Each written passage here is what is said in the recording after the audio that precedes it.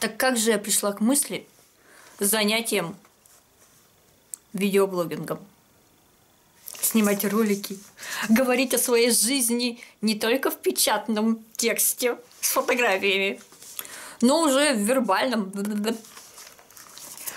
У меня была знакомая, с которой мы вообще как бы общались иногда по большей части по сети.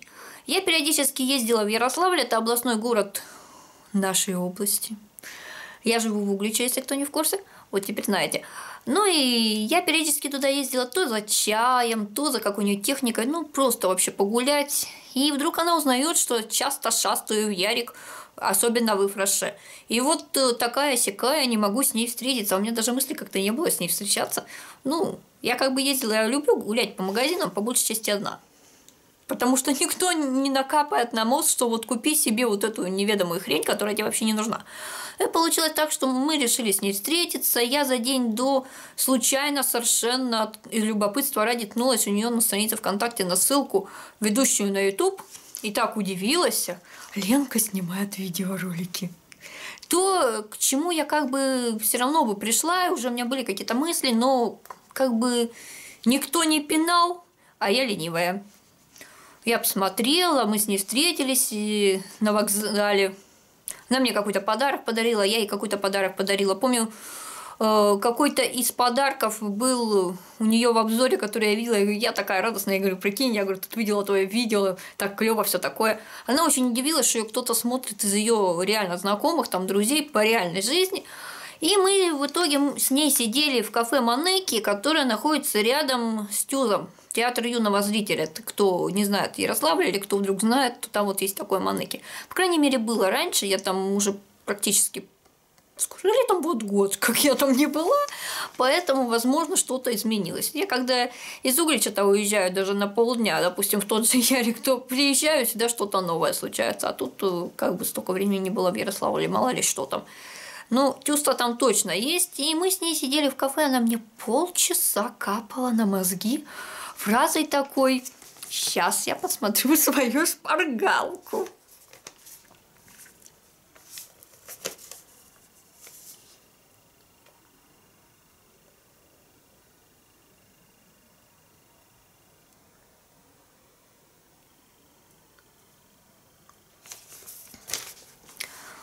Она повторяла, повторяла, повторяла, как...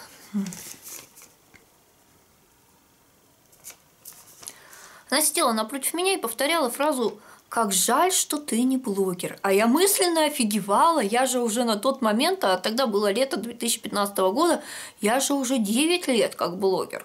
Думаю, сказать и не сказать. Но она так уверенно это повторяла, что я решила, что лучше не надо. Ну, думаю, как человек уверен в этом. А потом вдруг выясняется, что у нее понятие блогер распространяется исключительно на ютуберов. На тех, кто сидит на ютубе, снимает ролички, о чем-нибудь э, там какие-нибудь стримчики ведет или игры свои показывает, что угодно, но исключительно видеоблогерством занимается, именно на Ютубе. Все остальные блогеры – это не блогеры были в ее понятии на тот момент, не знаю, как сейчас. Мы с ней перестали общаться. И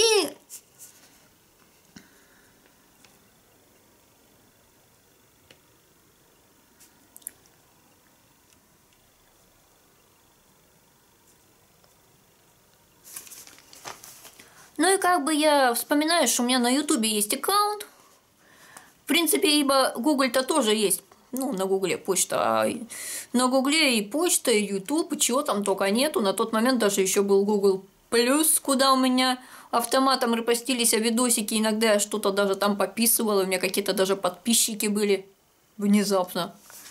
Ну, потом Google Плюс как-то скрутился за ненадобностью особой.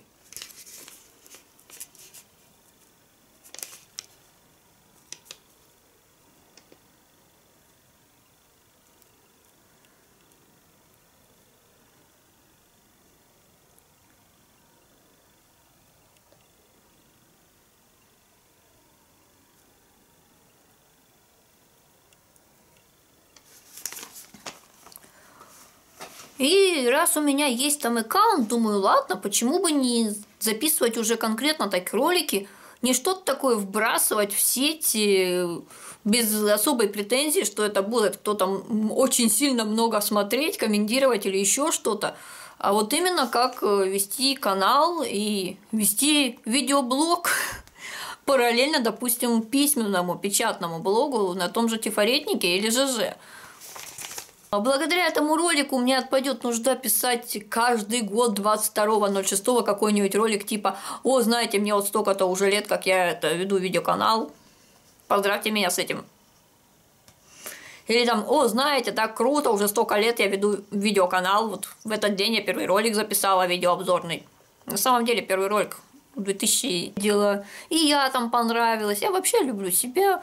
Мне нравится иногда перечитывать свои тексты, особенно когда грустно, я иногда читаю свою прозу.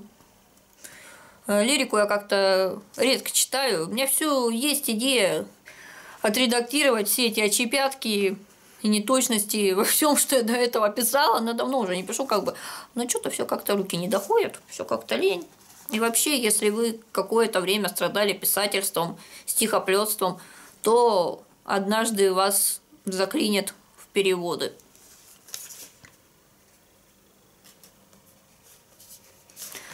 Лена же, подружка моя тогдашняя, с чего ты решила, что именно она сподвигла меня заниматься видеоблогерством? Именно она сподвигла меня сделать аккаунт на YouTube, хотя тогда аккаунту было уже, ну, допустим, лет пять с лишним, лет шесть-то точно уже.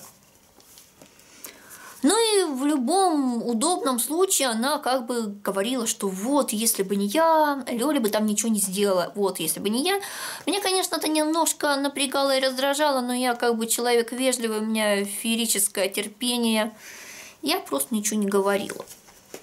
Потому что иногда лучше ничего не говорить, чем пытаться доказать что-то, при этом это все выльется в ругань.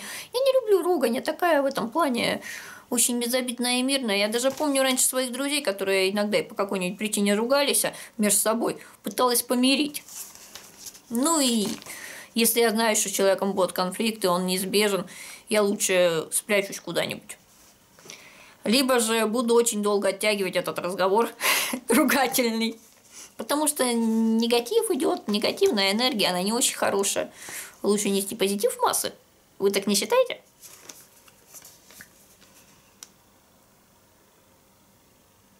воспринималось. Конечно, Лена мне давала какие-то советы. Знаете, люди, если вы вдруг начинаете вести канал, какое-то свое дело, э, лучше избегать э, слушания советов э, своих друзей. Потому что иногда эти друзья в кавычках, а иногда ну, по большей части эти советы, если вы занимаетесь чем-то подобным, что и ваш друг или знакомый, делаются не по доброте душевной совершенно. Я помню, что у меня были такие обзоры, что, допустим, я сейчас телефон покажу, у меня просто под рукой только телефон есть. А, показывала что-то, я думала, что так надо, как мне сказали, я так и делала. Очень быстро. Вот даже меня сейчас это раздражает, когда я в камеру смотрю и телефоном так кручу. Но мне так посоветовали, сказали, что так действительно надо делать.